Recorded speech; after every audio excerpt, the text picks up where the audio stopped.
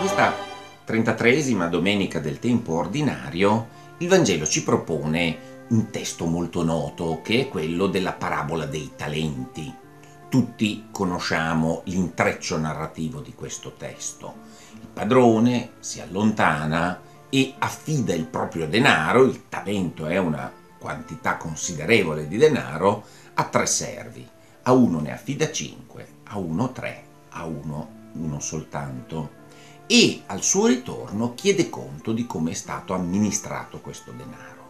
E tutti ricordiamo come il servo che aveva cinque talenti li ha trafficati e li ha portati a dieci, lo stesso ha fatto quello che ne aveva tre, mentre quello che ne aveva uno solo, per paura, per timore, lo ha nascosto e in qualche modo eh, lo restituisce così com'era al proprio padrone.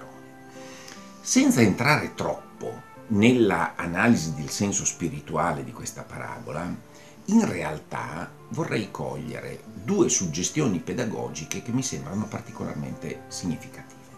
La prima è abbastanza scontata, nel senso che questa parabola dei talenti viene usata come immagine per parlare dell'educazione, il fatto che l'educatore debba aiutare ogni persona a sviluppare i propri talenti e che ogni persona abbia i talenti che sono suoi e non quelli di un altro e quindi ciascuno debba essere valorizzato, aiutato a sviluppare quello che ha dentro come talenti interiori, come doti, come doni, in qualche misura questo è abbastanza um, utilizzata come immagine ed è stata utilizzata anche in un certo periodo della storia della scuola italiana, particolarmente all'inizio del XXI secolo, proprio per indicare anche la pedagogia della personalizzazione, cioè per indicare l'idea che anche a scuola sarebbe necessario darsi da fare per valorizzare i talenti di ciascuno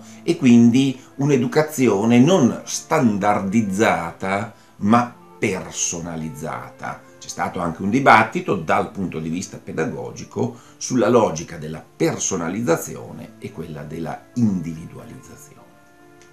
Ma io vorrei chiudere sottolineando un altro aspetto, sempre significativo dal punto di vista pedagogico. Nella parabola si fa riferimento non solo al fatto che a ciascuno vengano dati alcuni talenti, ma al dovere di metterli a frutto. Lì è chiaro che ci riferiamo ai doni di Dio e quindi l'idea che uno abbia il dovere di mettere a frutto i doni di Dio è quantomeno intuitiva.